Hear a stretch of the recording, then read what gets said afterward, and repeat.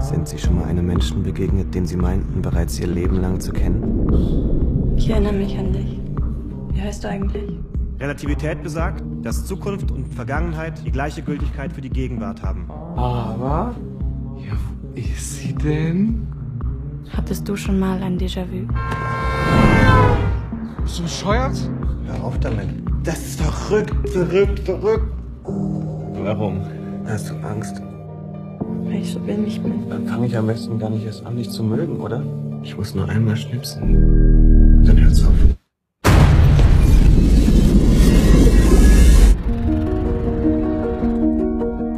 Da bist du ja. Schon das zweite Mal, dass du mich gerettet hast.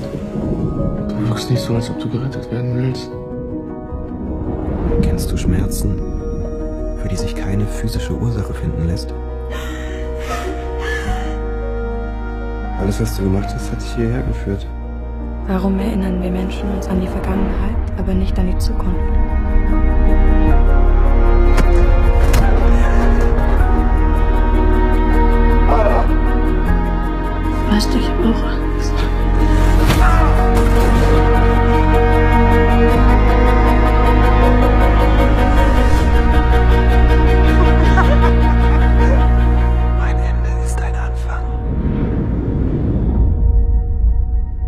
Nichts ist für immer.